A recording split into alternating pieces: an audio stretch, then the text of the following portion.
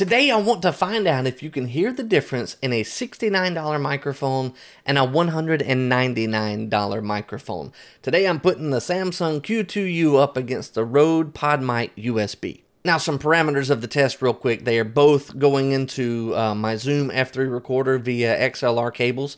It's a 32-bit recorder. Absolutely love this thing. Uh, in post, right now, there's going to be no processing put on the microphones. The only thing that's going to be done, I'm going to normalize the levels so that they both have the same um, volume coming out, but you'll be able to hear the raw audio from both of these. Later, I will put processing on to see what kind of sound we can get out of both of these microphones to just see even further which one may be worth getting. Both of these microphones are set up approximately the same distance from my mouth. Yes, they're both off axis. But anytime I use a mic like this, I'm mostly going to be off axis anyway because it really helps to to counteract any possible plosives that you may hear and, and be distracting on the video. All right, so let's kind of break down each microphone. Both of these microphones are XLR and USB input. Uh, the only difference is the Samson is a um, USB Type B Mini uh, USB connection, whereas the, Rode is a USB C connection.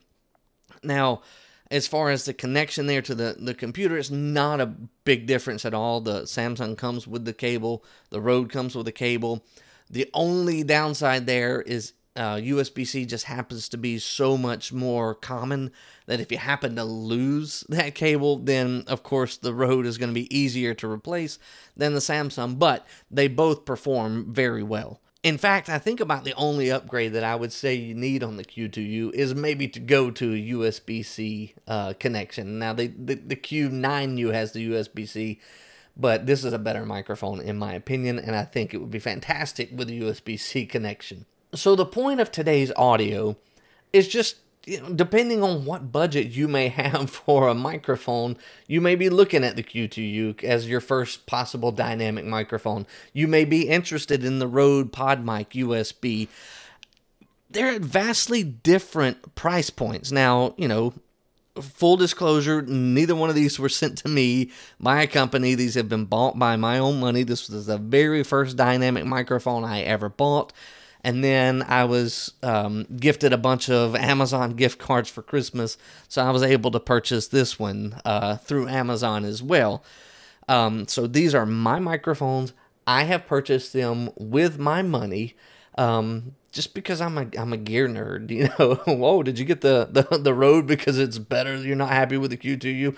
No, I'm just a nerd and just like to get gear. Probably like you if you're watching this video. Okay, so what I want to do is I've picked out a paragraph from Lord of the Rings. Uh, I'm going to read it. I'm going to record it with both microphones at the same time so that there's not a variance between each recording. And I'm going to let you listen to it from uh, one microphone and then listen to it again from another microphone. They picked away among the trees, and their ponies plodded along, carefully, avoiding the many writhing and interlacing roots. There was no undergrowth. The ground was rising steadily and as they went forward, it seemed that the trees became taller, darker, thicker. There was no sound, except an occasional drip of moisture falling through the still leaves. For the moment, there were no whispers or movements among the branches, but they all got an uncomfortable feeling that they were being watched with disapproval, deepening to dislike and even enmity. The feeling steadily grew, until they found themselves looking up quickly or glancing over their shoulders as if they expected a sudden blow. That's a great book. they picked away among the trees, and their ponies plodded along, carefully, avoiding the many writhing and interlacing roots. There was no undergrowth.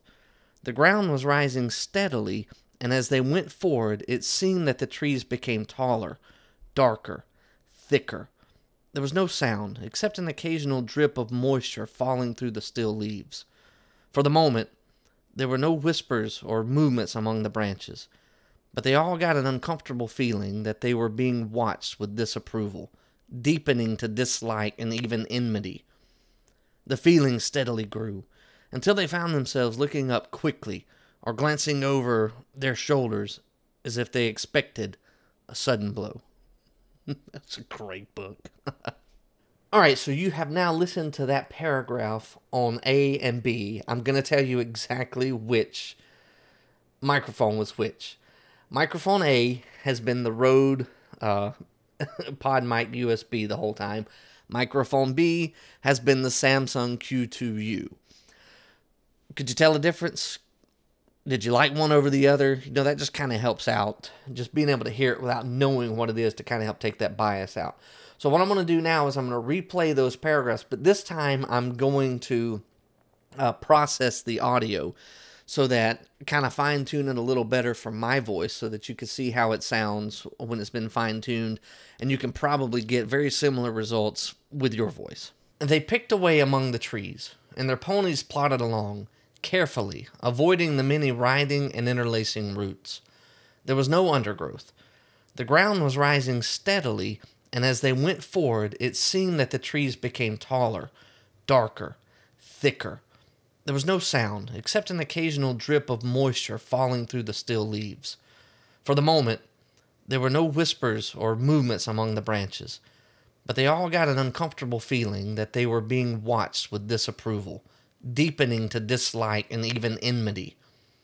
The feeling steadily grew, until they found themselves looking up quickly or glancing over their shoulders as if they expected a sudden blow. That's a great book. they picked away among the trees, and their ponies plodded along, carefully, avoiding the many writhing and interlacing roots. There was no undergrowth.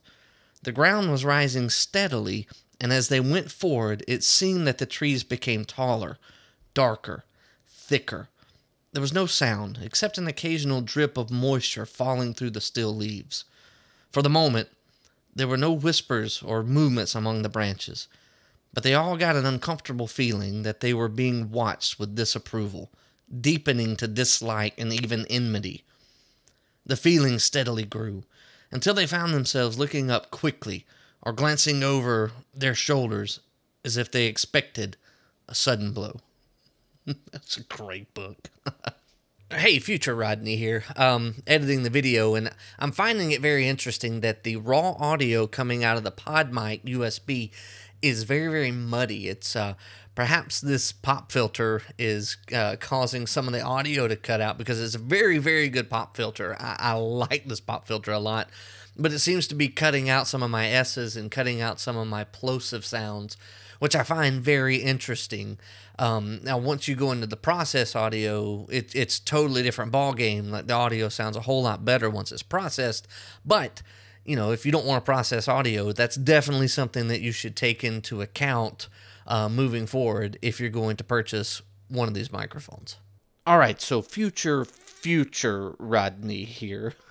I decided let me go back and take the pop filter off of both of these microphones and see what the raw audio sounds like without the pop filter on to see if that actually makes a difference because, you know, like I said, it was cutting out on the Rode, uh, but the, the the Samson sounded really, really, really good, uh, even with the pop filter on. But the Rode was kind of doing some weird muffled thing where it was cutting certain uh, sounds out. So I just wanted, I know I'm kind of rambling here, but I just wanted to talk for just a moment just to give both of these raw audios a chance for you to be able to hear it, um, just to see if the Rode continues to cut sound out in the raw, unprocessed audio. I don't know. Back to the video. So there you have it. I have compared both of these microphones. Um, which one should you buy? That's completely and totally up to you. Which one sounded better to you? Because there's not a wrong answer here. Um, they're both fantastic microphones. It's your money, your budget. You buy the one you like more. Um, you know, if they sound similar, but you're like, man, I just really want the Rode, you know what? Go ahead and buy the Rode because if you don't, you're going to end up buying it anyway. I happen to own both of these microphones, so I'm not going to sit here and say, oh, I'm going to go with this one, I'm going to go with that one because I have both of them. I like both of them. So you picked the one that you thought sounded the best. That being said, let me know in the comments which one you prefer. Which one sounds better to you? How could I do these review videos better? I'm always open to suggestions. That being said, if you want to hear this microphone paired up against another popular Rode microphone, the Rode VideoMic Go 2, check out this link right here. Other than that, guys, I'll talk to you later.